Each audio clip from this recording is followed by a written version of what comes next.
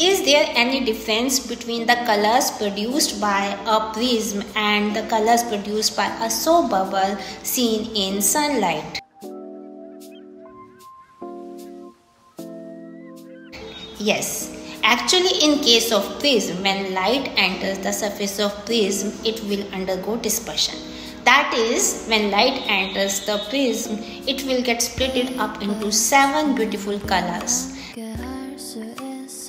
That's why we see a whole spectrum of colors when light passes through prism due to dispersion.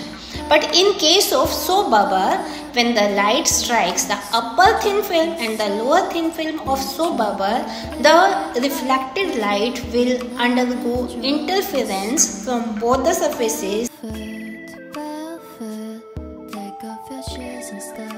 and it will produce beautiful dark and light fringes.